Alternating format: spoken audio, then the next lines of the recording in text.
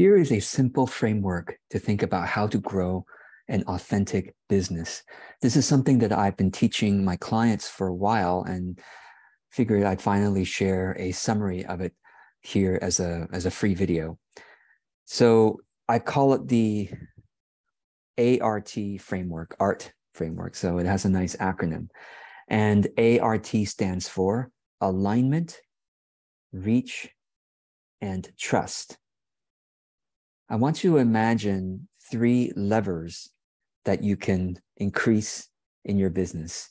The more that you increase each lever, the more that your business grows. And when I say grows, I mean you have a more uh, bigger and more loyal audience. You have products and services that are selling better and better, and that your marketing can simply be very authentic and low stress as the years go on because you have great trust with your audience. So that's what these three levers are. And the thing about these three levers is that you could actually increase any of the three greatly and it will grow your business, or you can increase each of them more or less evenly. So let me go ahead and describe these three. This is, I think, a very powerful way to think about business growth, very simple way. And it's also a way to kind of diagnose if your business is not growing, if you're not getting enough clients, if people aren't responding to your content and offers. Well, this is a simple framework to diagnose what's going on. Why aren't you getting enough clients or enough business? Okay. So let me explain, and I'm, I have a few notes here I'm going to look at. So let's start with, well, let's start from the beginning. Alignment, A for alignment. So it, this means that your content and your offerings are aligned with your audience's wants. Now, I always say wants and not needs because when you start to think, ah, I'm going to produce what the audience needs, you're probably in your own head because you are more advanced in thinking about your topic than your audience. And what you think they need, they usually don't want. Have you noticed that? or not usually, sometimes. Um, but all we can do is try to understand the audience's wants and then try to meet those wants as well as delivering what they need. So that's why I always say we meet the audience where they're at by understanding their wants. We deliver, we create products and services or curate products and services to meet their wants, hopefully also delivering on what we believe they need. Because if you only say, oh, I believe you need this, you're probably ahead of you're probably ahead of your thinking on that topic compared to them. They don't realize they need it yet. They don't have the, the right context and education to understand that they need it, but they know what they want. So um, the way to uh, and the reason why alignment's important is because so many entrepreneurs they launch their products and services based on their own interests based on their own peak experiences their own passions and they haven't done the market research to understand what their audience wants. And they get surprised and greatly discouraged when their product or service doesn't sell people don't want to buy it. People don't want to buy it. They might be your your friends and your family and your colleagues and your audience might be really nice to you. They might oh that looks really nice. Oh that oh i hope it does well. They might say nice things to you but they don't actually buy it because it's not what they want. There's no alignment there.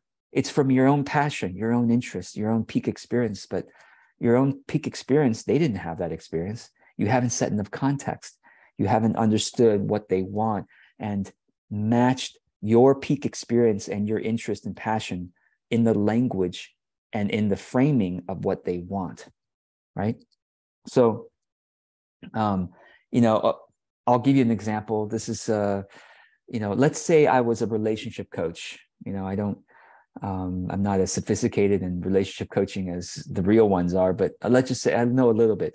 So let's say I'm a relationship coach and I am trying to sell i'm trying to get clients to to like teach them how to listen better to their partners.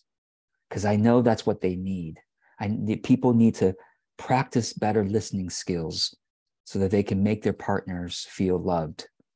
And in return their partners will naturally respond with more love and more caring and attention etc but what people think they want what people think they need what people want is i want my partner to listen to me better. I want my partner to love me more. I want my partner to give me more attention or something like that right? And so if you're trying to sell a service or program that says learn to listen better to your partner people are like i don't want that. I, I want my partner to listen better to me. I don't want to listen i don't need to listen. I'm already a great listener right? And so you have to sell a program that says get your partner to listen to you so you give them what they want but the way you do it is actually teaching them how to listen and attend better to their partner and be more loving to their partner. And then as a result of course the partner naturally will open up and blossom. You know so this is an example right? Again i'm not a relationship expert but there's probably something something there. Um, but that's an example. So what about what about in your field? You're welcome to comment below.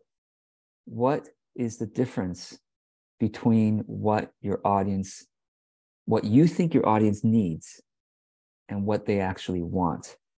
And how can you address what they want while also delivering on what they need right? Because in that example i'll say come to this program come to my service you know hire me to get your partner to listen to you to attend to you to love you more. Great. Okay now they signed up and work with me all right the, one of the first things we need to learn and then i will educate them about okay the way we get our partners to listen better is to practice these skills. Practice it and you'll watch what happens you know kind of thing. And then they'll be like oh my god it really works. I didn't know i need to do this. Now of course over time ideally you use your content to educate your audience about the context of what they want versus what you think they need you educate them on the context and the philosophy of it, the why, you know, not so much the how. I won't in my free content, I don't teach, for example, of our relationship. In my free content, I don't teach listening skills. I teach the why listening skills are important. I, you know, so that's an example. So uh, back to this framework, alignment here. To work on alignment, you know to really align with what your audience wants they're going to spend money with you. Why would they why would they spend money with you? Because you're offering them what they want. How do you find that out? You talk to them. Because here's the thing like if you just try to journal about it if you just try to figure it out on your own you're probably in your own head because you are quite a bit farther along on your uh, uh, about your topic about your audience's problems. You're quite a bit farther along than they are like in the example I just gave you, I already know that I need to practice better listening skills to get my partner to open up, but my audience doesn't. My audience thinks they just need to somehow get their partner to listen to them. You see, so it's like I'm already quite farther along. So if I, so that means I got to talk to my audience, and I go, "What's going on in your relationship? What's what what what what do you wish for in your? Oh, I want my partner to listen better to me. Oh, oh, that's interesting, right? Like if I talk to them, then I understand that's what you want let me take notes. Let, let me name that as my next offering. Get your partner to listen, you know. So you do market research conversation and you also do online polling. So you put when I say online polling, let's keep it real simple. You could do it simply like, for example, on a Facebook profile, because some of your friends are your ideal clients. Maybe, right? I think some of your friends are, or at least some of your friends have the mindset the heart set, the, the, the stage of the journey similar to your ideal clients. Or some of your friends know your ideal clients. So even if you just have 50 Facebook friends, that's all you have. You have no social media audience, none whatsoever. All you have is 50 Facebook friends. You can still post to your 50 Facebook friends, hey folks, do you know somebody who is um, you know, going through these issues or whatever? And what do you think about these topics? And just poll them. You know, if you if you know someone like that, what would they say? You know? And and if it's you you know don't don't say it's you keep it anonymous. Just say based on that what you described i think people what people want is this something like that right? Um, another way is to is to do net caring with niche mates people who are in the similar niche as you, similar industry as you, similar solving similar problems or helping people achieve similar experiences as you. And you can get together with them and talk with them on this question of what do you what what what what do you think our audience wants? Let's talk about that versus what they need, right? So that's the question. All right, so that's the alignment. Let's go to reach next. So remember the, the overall framework, how to diagnose your business growth problems alignment, reach, and trust. The more alignment you have, the easier it is to sell anything because you you are selling what people want rather than what you think they need, right? So the second one is reach. Okay, alignment, reach, and trust, right? So second one is reach. Well, reach, hopefully it's relatively clear. The the more people you can reach, the more people you can present with your product or your service, and therefore you're more likely to get more clients right i mean a, a, a, simple a very simple example even if you have really poor alignment so it, back to my original example of, let's say i'm trying to sell a coaching service on how to develop better listening skills for your partner and like i said my audience probably you know if i were a relationship coach my audience doesn't want that they they need it i think they need it. they don't want it. but if i can reach 100000 people with that offer, some, you know, a hundred thousand people, maybe 10 people out of those hundred thousand will still go, even though you haven't educated me on the context, I, I understand it myself and I will still want to buy it. So in other words, even if your alignment is low, if you have a higher reach, you'll probably still get some people buying. Of course, if your alignment is high, your reach doesn't have to be as high to get. So in other words, if my alignment is low, but my reach is high, I'll get a little bit of people buying it, right? Maybe 10 people out of 100,000 people, something like that. How, what, what's the percentage of 100,000, 10,000, 1,000? Like 0.1% might sign up for it, right? But if my line is, if my alignment is high and my reach is low, which I think probably a lot of you have low reach. A lot of you, from what I can tell, what you tell me is that you think you have a small audience. George, I only have 100 Facebook friends and I have 50 people follow me on Instagram. I have 15 YouTube subscribers. I have, you know, uh, 75 people on my email list, whatever. Your, your reach is low, but that means your alignment, you can work on your alignment because if, right now, if your alignment's low, you might get 0.1% sign up rate. But if your alignment's high, you might get 10% sign up rate or 15, 20% sign up rate. So even if you just have, you know, 100 audience members combining your Facebook, Instagram, email list, or whatever you have, you have only 100. So high alignment, 10%, maybe 10 of them will sign up. You see? So these three levers are really interesting because you can just greatly increase any of these levers and it will grow your business. So alignment, reach, and let me just quickly rattle off my seven favorite reach methods. This is not meant to be a, a course. if you want to learn more about this stuff, I have a I have a course that goes way more in depth on this ART stuff and more in depth on the on the reach methods. But that's called BizPlan, B I Z P L A N. BizPlan. Uh, you can you can sign up for it if you want to. But anyway, let me just quickly rattle off the seven my seven favorite reach methods. Again, I can't go in depth here, but just for the sake of time, I got to end this pretty soon. Facebook ads, Instagram ads, the simplest way. I mean, if you never tried it, I know some of you think it's unethical or it doesn't have to be. Facebook and Instagram ads has has saved. You know, some of you think Mark Zuckerberg social media is bad, politically bad, and it's it's it's. But listen, the other side of it is social media, or I should say, Facebook, Instagram ads, has saved so many small businesses like mine, like many of my clients who could not have gotten more reach without something like Facebook, Instagram ads it's so much easier for them. You spend $10 on Facebook, Instagram ads, you reach a thousand targeted people. There is no cheaper, as, as of this recording, there's no cheaper and more targeted way to reach ideal clients than Facebook, Instagram ads. No cheaper or more targeted way. Now, the dark side of that is, well, it's because Facebook and Instagram know so much about everybody. That's why they're able to target the ads so perfectly to people. That's the dark side of it. But again, like I said, it has saved millions of small businesses like myself to be able to reach people without going door to door knocking what are we going to do right so here let me continue facebook ads instagram ads Stage two content is another reach method. If you don't know what stage two content is, Google the three stages of content creation. Again, you can Google this, the three stages of content creation. I've written an article and you'll learn what stage two content means there. So stage two content, okay, that's number four, gentle launches or authentic outreach. Whenever you launch, whenever you gently launch something, you'll grow your reach a little bit because some of your friends and colleagues will share or at least tell others about your offer, your service. Gentle launches.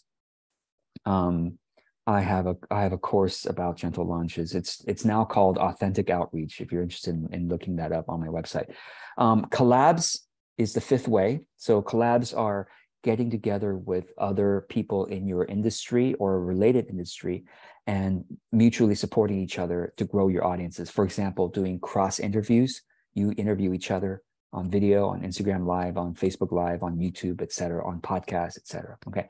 Number six, LinkedIn ads. Yes. So if you think Facebook and Instagram ads are unethical, you could try LinkedIn ads. LinkedIn ads is five to 10 times more expensive than Facebook, Instagram ads, but it can still target pretty well. And I still I use it myself. Um, I still prefer Facebook, Instagram ads, but LinkedIn ads is, is also a good alternative. And then number seven is authentic SEO, search engine optimization. I have a whole course on that as well. So I just wanted to kind of rattle off these seven strategies. Uh, if you want more on this, you can take my BizPlan course or study these on your own. And um, I hope this is helpful. So let me keep going here. This is going a bit longer than I expected. Finally, trust, the third category of you know alignment, reach, and trust, the third lever, I should say. Basically, the greater trust someone has in you, right? Someone who like says, "Oh, I, I love, I, I, I trust your recommendations for me because you've always shown up being trustworthy to me." Then the more they trust you, the more you can simply whisper your offer or your you know your product or your service and they'll buy. Right? I mean for example if you have a, a good friend who trusts you a lot and you you say hey i want to go see this movie. And your friend's like i don't know what the movie is about but i trust you. If you think i'm going to enjoy it let's go.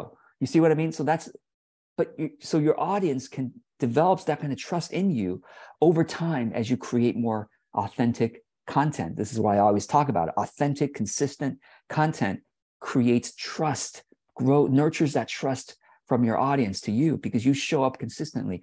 Consistency is uh, a representative of trustworthiness, of reliability, stability.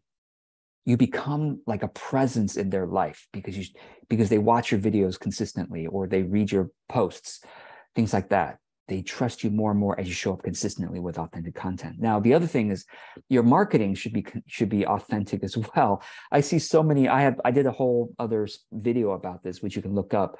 Spiritual teachers, right, being completely unspiritual in their marketing. Why is that? Because they trust marketers to say, well.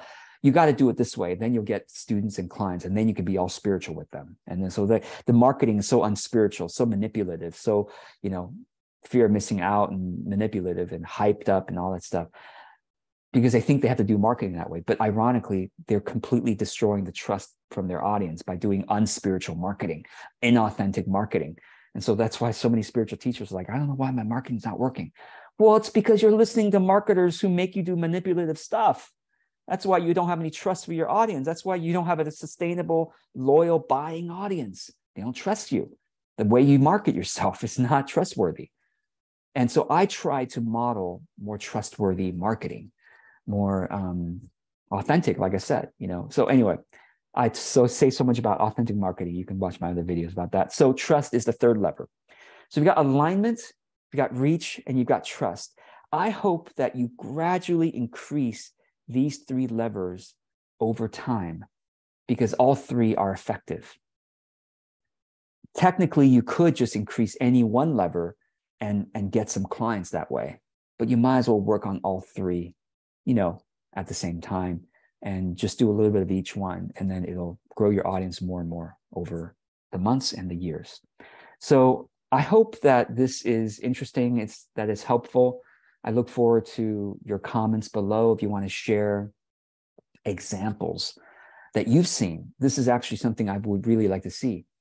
What uh, what examples have you seen out there of trust? Uh, uh, someone who knows how to build trust with their audience, as in you know, uh, someone who knows who knows how to do reach, right? Who's who's doing a good job of of doing reach. What are the reach strategies do you uh, like? You know that that people have been effective at reaching you. Um, and of course, alignment. We said that earlier. tell, comment below about what you what you believe your audience wants versus what you think they need. So I look forward to seeing your comments below. Hopefully, it'll be educational for everyone who is seeing this. Thank you so much for your trust. The fact that you watched until this moment means there's some trust that I have with you, and I'm super, super grateful. And I don't take that for granted that's why I keep showing up consistently, even though, to be honest, today I am uh, still on the mend with um, with a with with an illness, um, and I didn't did not feel like I'm a little bit groggy today, actually, and that's why you might notice, especially towards the beginning of the video, I was kind of like not really my usual self. My voice, you can tell, is not my usual self. So I'm still groggy. I took an extra nap today, and my my schedule was very much just trying to rest a lot today, but I still show up for this stuff because I understand the importance of consistency for my own creativity fitness and for serving my audience and thereby of course as a natural byproduct nurturing trust. So i hope this helps and i look forward to seeing any comments that you want to add below. Thank you so much